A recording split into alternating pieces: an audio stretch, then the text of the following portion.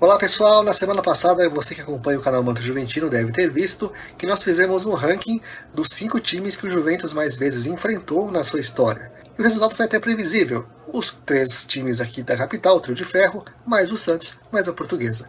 Hoje nós vamos fazer um outro ranking. Nós queremos saber os times que mais vezes perderam para o Juventus. Quais foram os times que o Juventus mais vezes derrotou? Vamos ver quais foram eles? Vamos lá.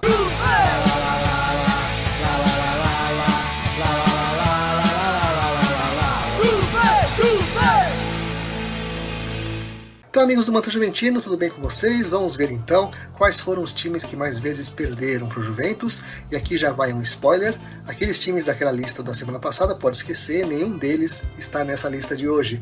A nossa lista de hoje tem uma gama bem variada de times é, muito conhecidos, muito tradicionais do interior de São Paulo, times muito tradicionais aqui do nosso estado.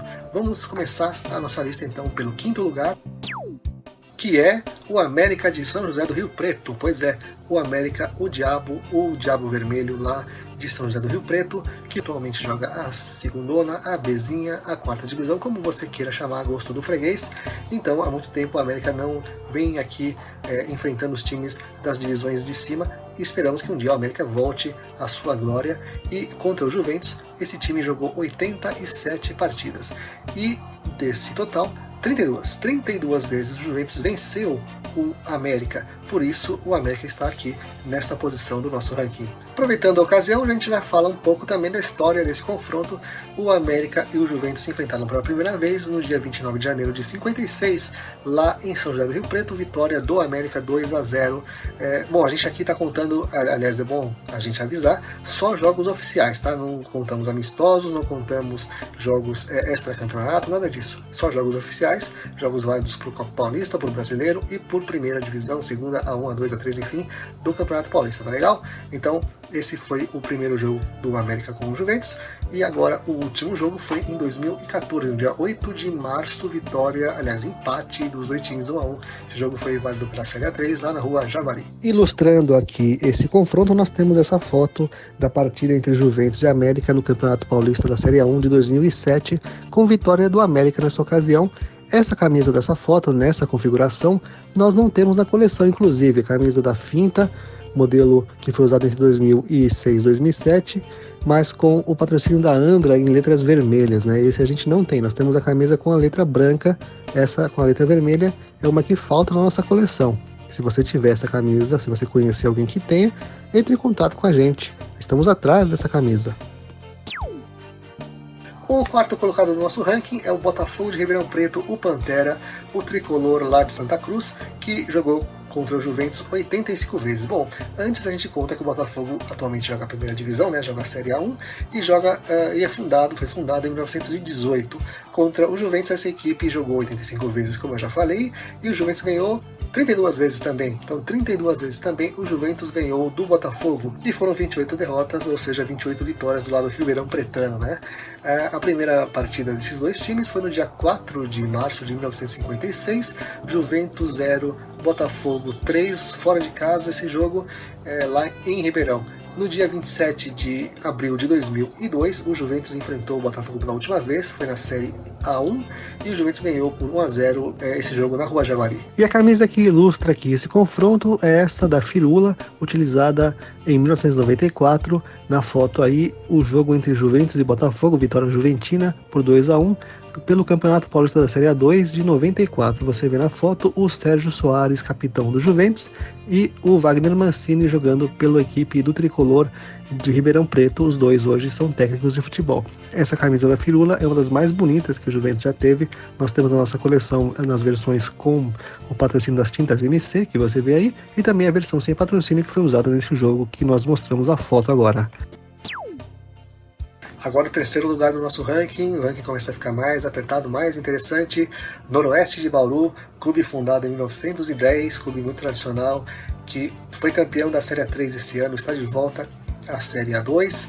Vai jogar contra o Juventus ano que vem de novo. Nessa história desse confronto, o Juventus ganhou 36 partidas de 77 disputadas.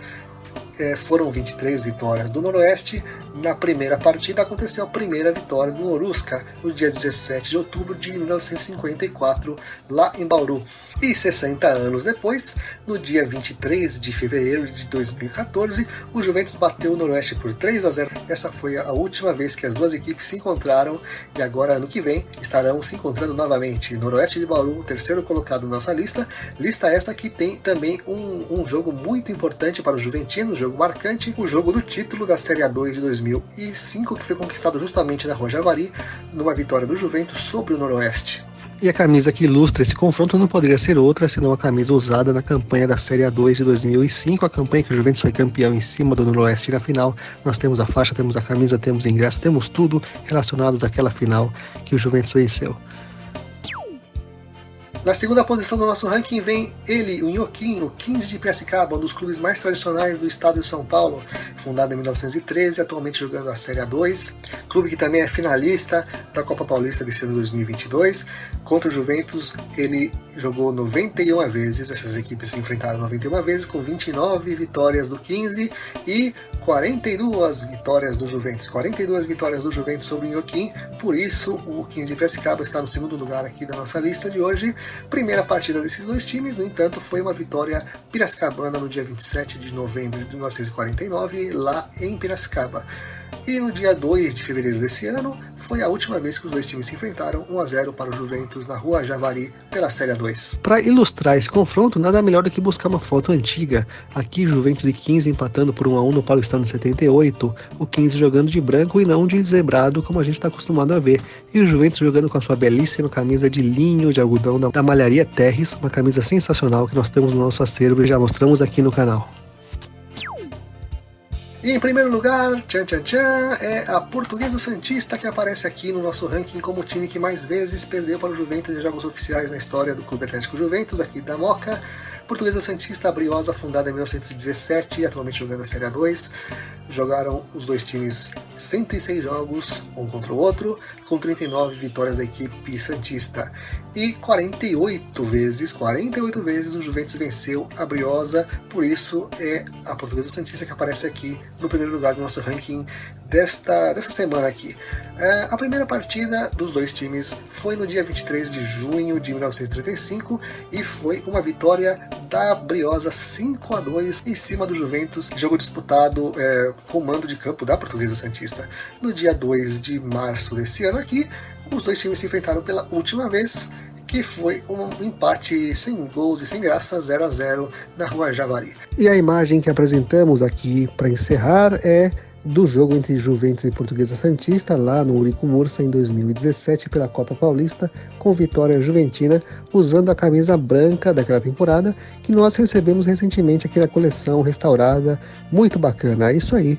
Portanto, meus amigos, essa é a lista de times que mais vezes perderam para o Juventus na história do Clube Atlético Juventus. É, hoje, então, nós falamos de vitórias juventinas, aproveitando aqui o nosso banco de dados do Manto Juventino, lembrando sempre que esses jogos que nós estamos falando são jogos oficiais, jogos válidos por campeonatos é, oficiais da Federação Paulista ou, ou do, da CBF, enfim.